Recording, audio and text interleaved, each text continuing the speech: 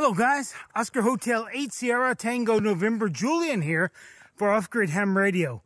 Hey, many of you have asked about a budget Go kit for HF NVIS data communications like JS8 Call or WinLink VAR AC, Robust Packet, and so on. Well, I finally came up with something. I've got all the components here and I think we're going to put it together. This Go Kit is based on the True SDX. I've already published a blog post about that radio, so please take a look and uh, get yourself familiar with it.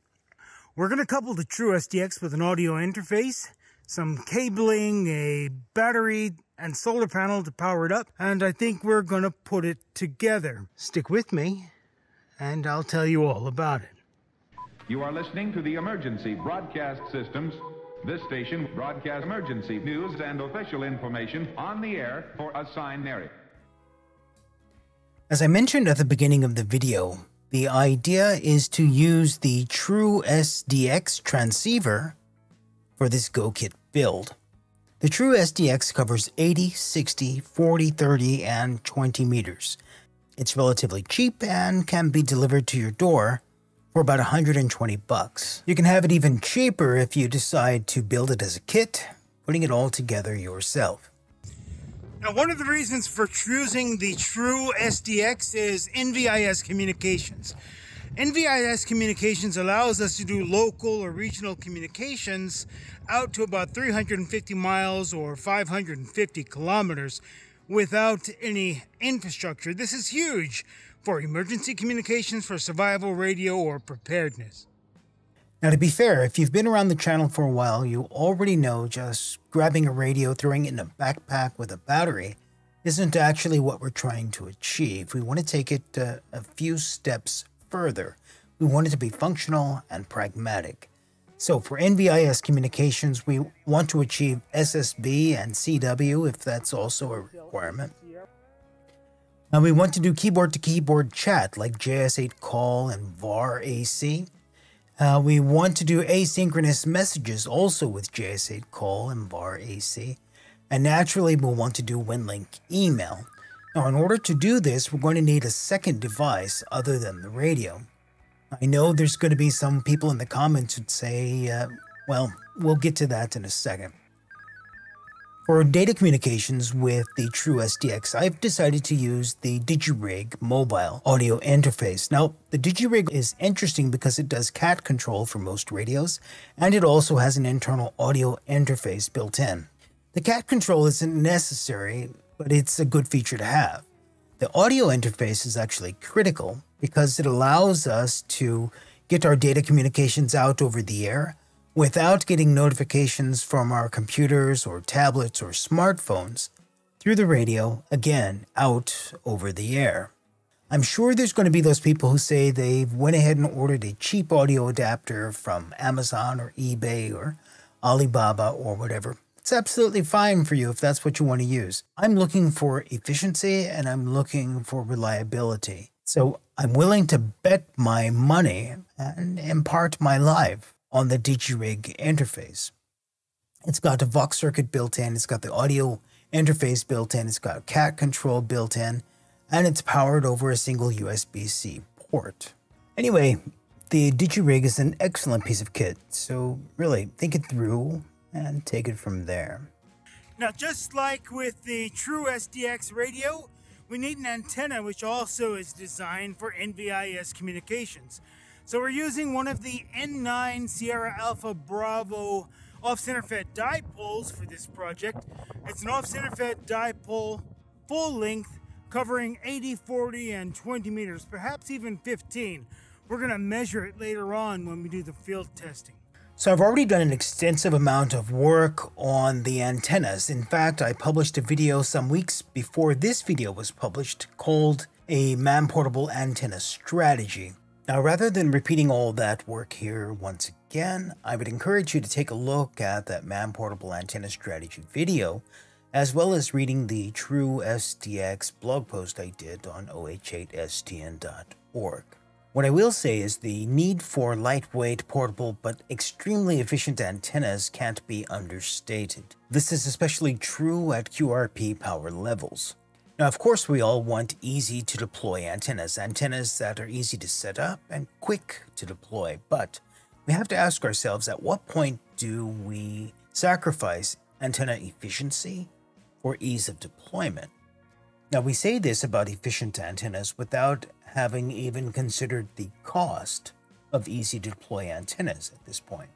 Now, obviously, both of these approaches have pros and cons, but if you're replicating my Go kit, you'll need to consider which one you're going to use an easy to deploy antenna, which will possibly also require an antenna tuner, or a resonant wire antenna, which requires no tuner but may be a little bit more difficult to deploy. Food for thought. One of the key points of this Go kit is its data mode capabilities. So I thought I'd go ahead and do a demonstration of the true SDX running WinLink with VARA HF. Now, in light of the data mode limitations we've seen from other kits, for example, those from QRP Labs and QRP Guys, it was important to demonstrate the effectiveness of the true SDX using WinLink, for example, with VARA HF. Now, the good news here, guys, is during my testing with WinLink and VARA HF, with VAR AC and JS8 Call, and other data modes I've tested with the True SDX, I haven't been able to find any data mode limitations so far. This is great news, as it means we have a black box data radio at a budget friendly price.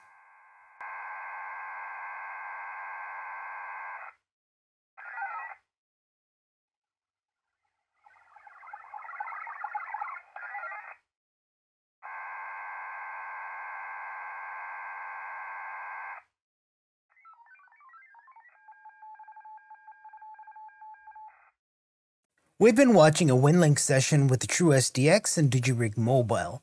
We were running WinLink Express with VARA HF on a Microsoft Surface Go 2 tablet. Now, to be fair, there was some challenges setting up the incoming and outgoing audio levels for data modes.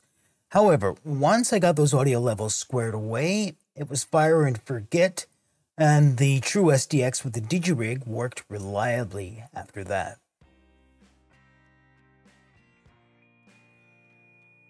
As you can see, I also did some work with JS8 Call. Now this was actually brilliant because JS8 Call has this slow mode, which is extremely narrow and gets your signal out into the world with very little power. Most of my tests were done on 3 watts with the True SDX and the DigiRig Mobile.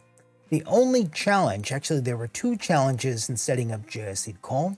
The first challenge was figuring out cat control and push to talk.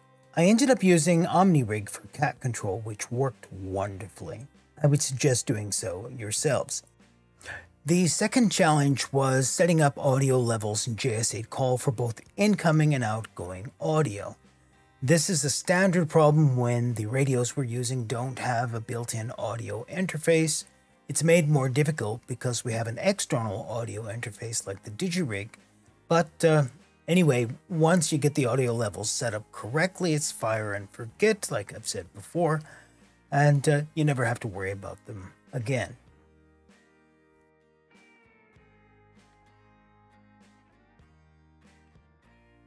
Now, ultimately, it's taken a while, guys, but uh, I think I've got it just about there. Let's take a look. So what I have so far is the Microsoft Surface Go 3. I took a second-hand model off of eBay. Now that's the Surface Go 3 LTE model with an M3 processor. That gives us more RAM, it gives us a inbuilt GPS, and better performance for apps which are memory or, or CPU intensive. Now over the past few weeks I've started receiving a lot of crap on the channel about using Microsoft Windows, which I hate for the record, Microsoft Windows for the Microsoft Surface Go. Honestly, I would prefer to use Linux, but the Linux software for WinLink, it's just terrible. I mean, at least we have something. Pat WinLink uh, is a start, but it's certainly not WinLink Express ported to Linux. WinLink Express, VARA HF, these aren't open source, but they are the best tools we have. Until that changes, use what you want, but I'm going to use the best tools for me. At the moment, that's a stripped down version of Windows on a Microsoft Surface Go 3.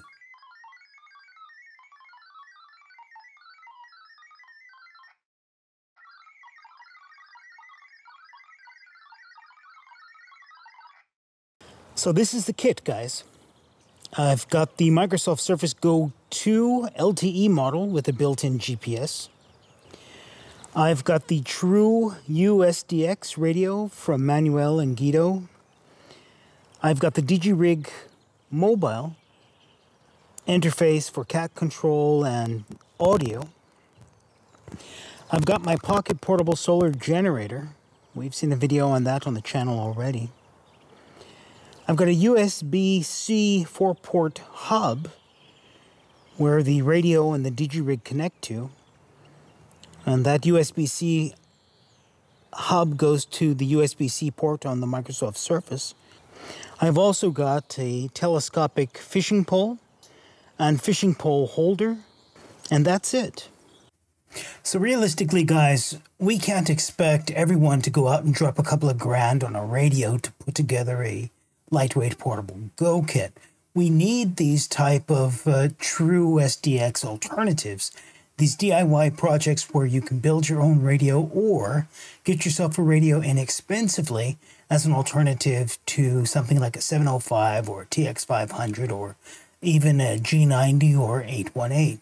Now, it doesn't take a rocket scientist to see the mainstream ham radio manufacturers aren't offering any more budget minded kits. Yeah, there are no budget minded radios, and there certainly aren't any data radios uh, with full data capabilities that can do WinLink or VARA or Pactor or whatever.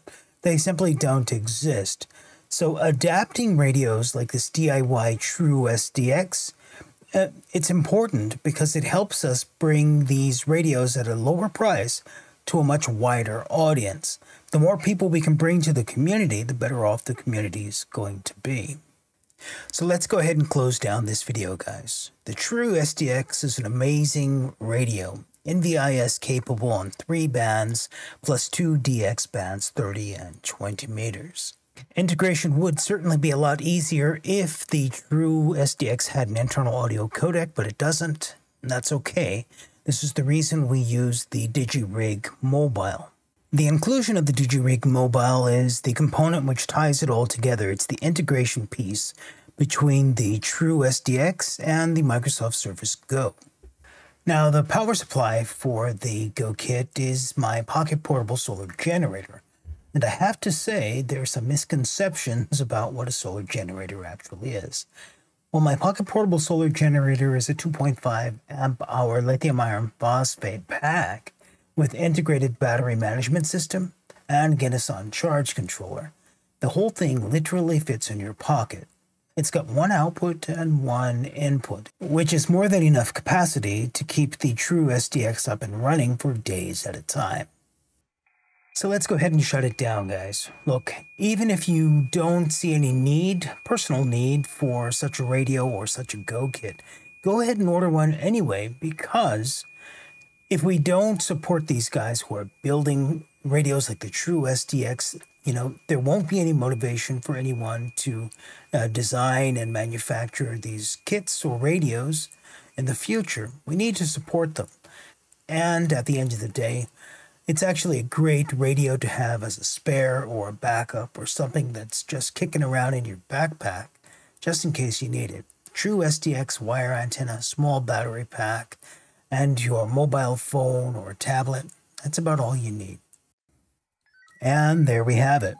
Look, guys, if you're one of my YouTube members or patrons or anyone else helping to support this channel or the blog, you're absolutely awesome and I couldn't do it without you. For the rest of you, if you like what I'm doing, if you like the content I'm creating, please leave me a comment, a thumbs up, or even a super thanks to let me know.